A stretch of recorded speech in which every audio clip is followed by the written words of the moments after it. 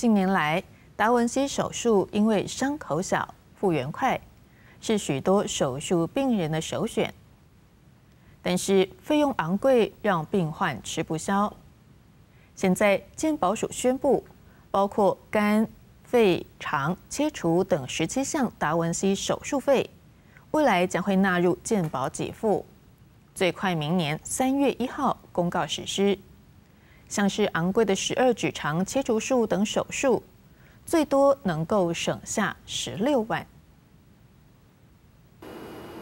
达文西机械手臂辅助手术近年常用于泌尿科、消化外科等临床治疗，不仅能缩短手术时间，还能减少出血量。现在健保署宣布，未来民众选择肝部分切除术等十七项达文西手术，都将纳入健保给付。你用不同的那个器材的时候，那个额外的哈，在目前来讲，因为健保的资源有限的时候，我们没有办法满足每个民众选择这样的一个方式。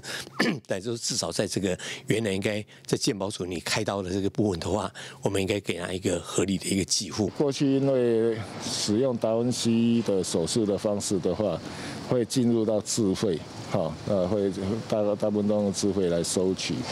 那现在是呃有一些就已经纳入健保，哦，那这样子的话对民众是有利的。受到胸腔外科和胰脏学会等多个医学会建议，促使健保署决定将肝、肺、肠、胰等十七项的达文西手术，未来都纳入健保给付。其中最多人使用的低前位直肠切除术，大约能够让病患省下九点七万；而昂贵的十二指肠切除术等手术，最多能省下十六万。至于肝部分切除术，也能省下至少五点八万。预计新制将在明年三月一号起实施，每年约有近千人受惠。我现在对整个台湾的医疗的科技的进步，哈，应该是提供一个比较好的一个方向。我想对整个台湾的外科医师来讲的话，他们会更想说是，哎，善用新的工具，哈，去提供给民众好的一个治疗。新制上路后，健保每年得多支出大约八千四百万左右，但期望借此提供民众与时俱进的医疗技术，也减轻就医负担。记者余文慈、沈志明特别报道。